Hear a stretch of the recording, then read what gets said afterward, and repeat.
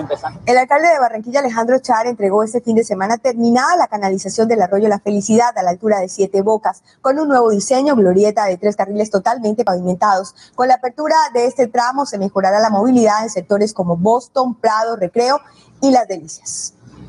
Así se ve ahora el tradicional sector de Siete Bocas después de la intervención del distrito de Barranquilla para canalizar el arroyo de la felicidad. Ya abrimos Siete Bocas, la popular carrera 41 con 63B, con 65 que comunica Barranquilla de oriente a occidente. Estamos felices porque va, a, a mejorar muchísimo la movilidad.